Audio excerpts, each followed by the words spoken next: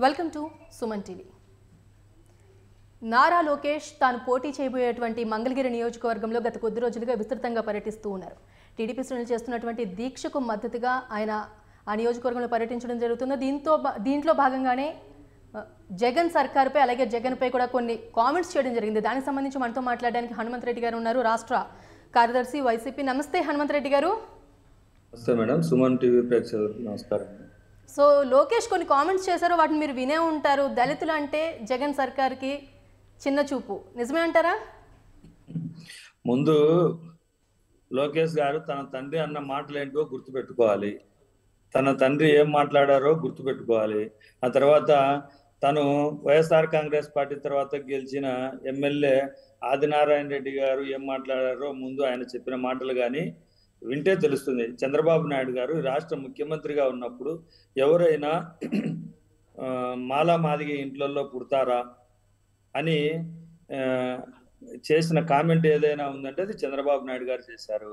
లేకుంటే ఆదినారాయణ రెడ్డి గారు వాళ్ళను కులాన్ని దూషిస్తూ ఎవరు స్నానం చేయరు గలీజ్గా ఉంటున్నారు గలీజ్గా ఉంటారని చెప్పినది ఆదినారాయణ రెడ్డి వాళ్ళ మినిస్టరు.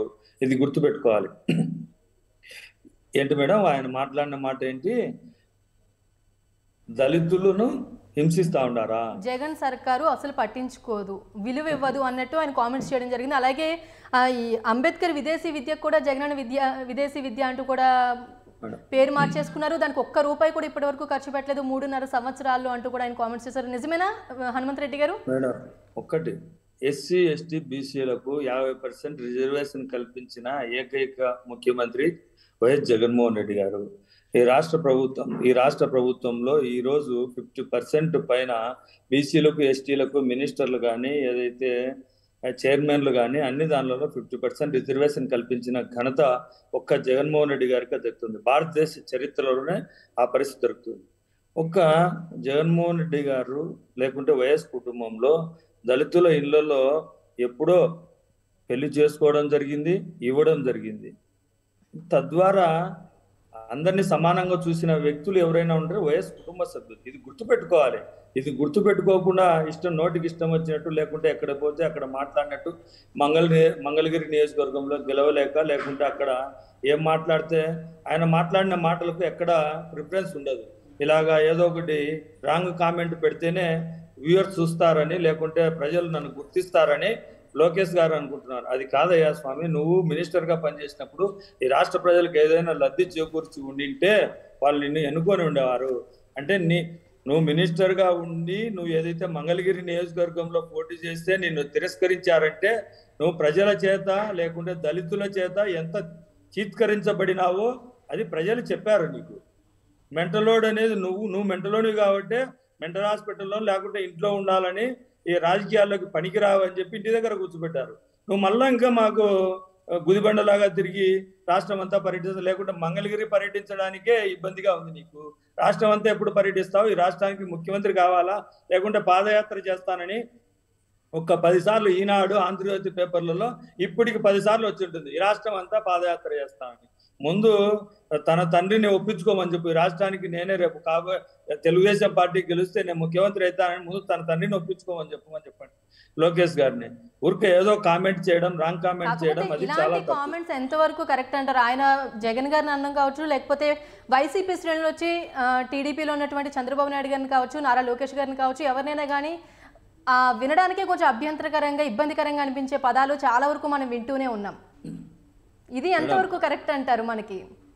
నేనేమంటానంటే అది ఎవరు మాట్లాడినా అభ్యంతరకర అభ్యంతరకరమైన పదాలు ఎవరు మాట్లాడినా తప్పే.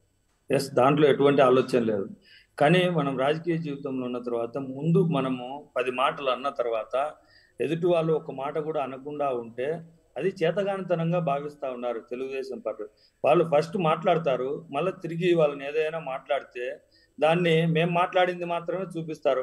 ఈ పచ్చపత్రికలు ఈనాడు కానీ ఆంధ్రజ్యోతి కానీ ముందు వాళ్ళు మాట్లాడిన తర్వాతే మా వాళ్ళు మాట్లాడుతున్నారు అనే విషయాన్ని కూడా ప్రజల దగ్గరికి తీసుకువెళ్ళట్లేదు అదే కదా మేము బాధపడతా ఉండేది. ఈ రాష్ట్రంలో జరుగుతున్న మంచిని కానీ ప్రజలకు చేస్తున్న మంచిని కానీ రాష్ట్ర ప్రజలకు చూపించకుండా పోగా చూపించకపోగా దానికి వ్యతిరేకంగా చూపిస్తున్నారు. అదే మేము తప్పులు పడతా ఉండేది. లోకేష్ గారు కానీ చంద్రబాబు నాయుడు గారిని ఒక అవకాశం ఇచ్చారు. రెండు వేల పద్నాలుగులో విడిపోయిన విభజన ఆంధ్రప్రదేశ్లో ముఖ్యమంత్రిగా చంద్రబాబు నాయుడు గారు ఉంటే బాగుంటుందని ఒక్క పర్సెంట్ మాకంటే ఒక్క పర్సెంట్ ప్రజలు వాళ్ళకు తీర్పునిచ్చారు. ఎస్ మేము ఆ తీర్పుని శిరసావహించాం. ప్రజల దగ్గరికి వెళ్ళాం. చంద్రబాబు నాయుడు గారు మారలేదండి. చంద్రబాబు నాయుడు గారు ఇంతకుముందు ఇంతకు ముందు ఎలా ఉన్నాడో అలా అదే విధంగానే ఉన్నాడు. రాష్ట్ర ప్రజలకు చేసే న్యాయం కానీ రాష్ట్ర ప్రజలకు మంచి లేదు. ఓన్లీ తెలుగుదేశం కార్యకర్తలకు తెలుగుదేశం నాయకులకు న్యాయం చేశాడని అనే విషయాన్ని మేము ప్రజల దగ్గరికి తీసుకెళ్ళాం. ఖచ్చితంగా నమ్మారు మమ్మల్ని ఓట్లేశారు. మేము ఏదైతే మేనిఫెస్టోలో హామీలు ఇచ్చామో ఆ హామీల ప్ర- ప్రకారంగా ఈ రాష్ట్ర ముఖ్యమంత్రి వాళ్ళు పనిచేస్తా ఉన్నారు. దాన్ని పక్కన పెట్టి రాష్ట్రంలో కామెంట్ కూడా చేశారు హనుమంత్ రెడ్డి గారు. ముఖ్యమంత్రి జగన్కి సంబంధించి వచ్చే వారం ఒక పెద్ద కుంభకోణానికి సంబంధించిన దాన్ని బయట పెడతానంటూ ఉన్నారు. మంచిది మేడం చాలా మంచిది. ముఖ్యమంత్రి గారి కుంభకోణం కాకుంటే ఏ కుంభకోణమైనా బయట పెట్టమని చెప్పండి. తప్పు చేసిన వాళ్ళు భయపడతారు. మేము ఏ తప్పు చేయలేదు. తప్పు చేయాల్సిన అవసరం కూడా మా దగ్గర లేదు. ఎందుకంటే అటువంటి ఆలోచన రాష్ట్ర ప్రజలకు మంచి చేయాలనే తపనతో జగన్మోహన్ రెడ్డి గారు పనిచేస్తా ఉన్నారు తప్ప తప్పు చేయాల్సిన ఆలోచన జగన్మోహన్ రెడ్డి గారికి కానీ వైఎస్ఆర్ కాంగ్రెస్ పార్టీకి కానీ వైఎస్ఆర్ కాంగ్రెస్ పార్టీ నాయకులకు కానీ అటువంటి ఆలోచన లేదని సుమన్ టీవీ ద్వారా నేను చెప్తా ఉన్నాను మేడం. ఎస్ ఎక్కడైనా సరే మీరు విసిరిన ఛాలెంజ్లు మీరు తెలుగుదేశం పార్టీ కాంగ్రెస్ పార్టీ కుమ్ముక్కై ఆ రోజు లేనిపోని కేసులన్నీ పెట్టి జగన్మోహన్ రెడ్డి గారిని పద్దెనిమిది నెలలు జైల్లో పెడితే కూడా ఏ రోజు కూడా జంకను కూడా జంకలేదు. ఈ ఈ దేశ ఈ భారతదేశంలో సోనియా గాంధీని సోనియా గాంధీని చూసి ప్రతి ఒక్కరు భయపడుతున్న క్షణం ఆ రోజు ఒక్క జగన్మోహన్ రెడ్డి గారే సోనియా గాంధీని ఎదురొడ్డి నిలిచి ఆమెకు ఈ రోజు ఆంధ్రప్రదేశ్లో కానీ తెలంగాణలో కానీ ఒక్క సీట్ లేకుండా చేసిన చరిత్ర ఏదైనా ఉందంటే ఒక్క జగన్మోహన్ రెడ్డి గారితే ఎదిరించడమే తప్ప తప్పు చేసిన వాళ్ళను తప్పు చేయకుండా మేము తప్పు చేయలేదు కాబట్టి మేము ధైర్యంగా ఎదుర్కొన్నాం. ఈ విషయంలో ఎక్కడ కూడా ఆలోచన చేయాల్సిన అవసరం లేదు. వాళ్ళు ఏదైనా తప్పులు బయట పెడితే ఖచ్చితంగా మేము తప్పు చేసి ఉంటే ఖచ్చితంగా శిరసావిస్తాం.